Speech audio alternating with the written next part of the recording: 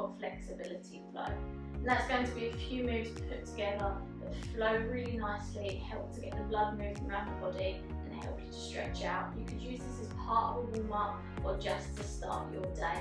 Okay, we're going to start ballet on our fronts, hands underneath our shoulders. So from here, we're just going to lift nice and gently up into a half cobra. Trying to elongate up through the spine, lift the chin and the chest. This is the first position we're thinking about. Squeeze that core in away from the floor.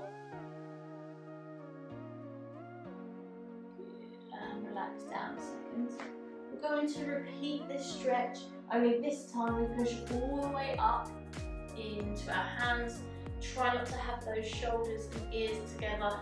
Lift and have a nice long neck. Again, lifting the chin and chest, core is engaged and not sinking into our back. Trying to create as long a back as possible. Coming back down. Now this time tuck the toes under. You might need to go slightly wider with the hands and also slightly wider with the feet. You're going to lift your bottom up take it into what's called downward dog. Now at this position, just tread the feet. So one heel pushes down and one knee bends and then swap it over. Whichever leg is pushing down on the heel, that leg also needs to be straight. We're also trying to push the hands into the ground and create a nice flat back with bum high up in the air.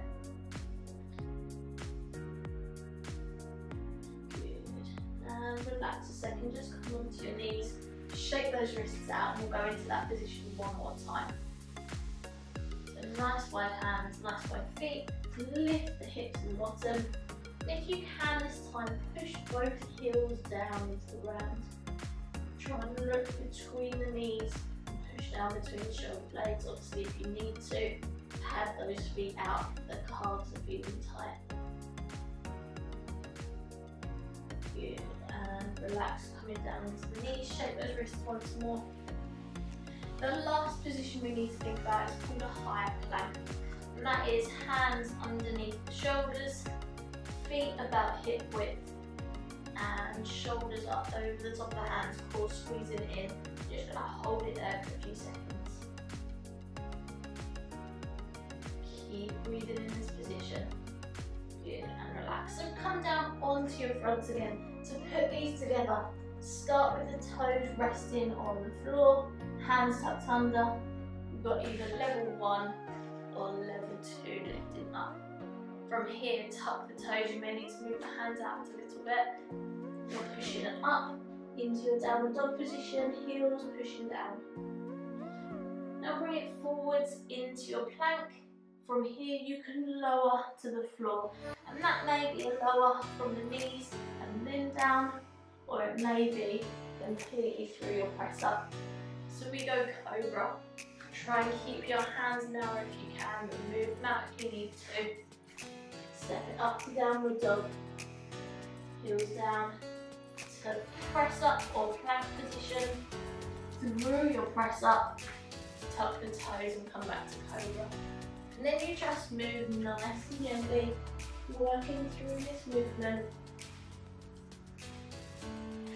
Keep breathing throughout.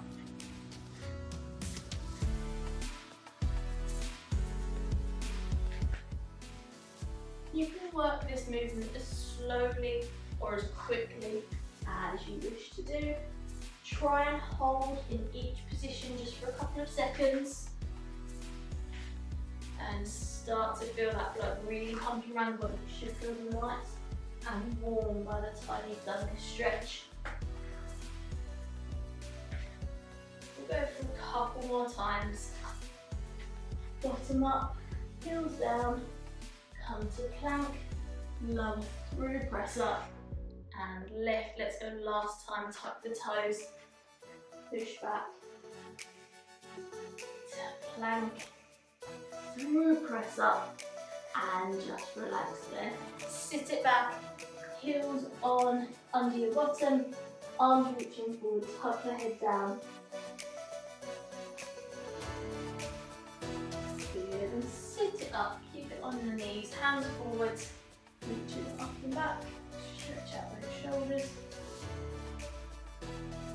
Hands behind the body, clasping it up. Shake those wrists out. One hand forwards, just pull back gently on the knuckles.